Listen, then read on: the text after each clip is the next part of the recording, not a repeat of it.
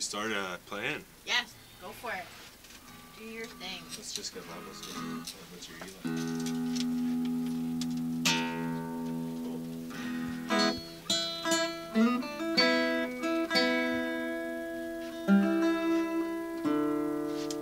So the band in in uh, Eastern Canada is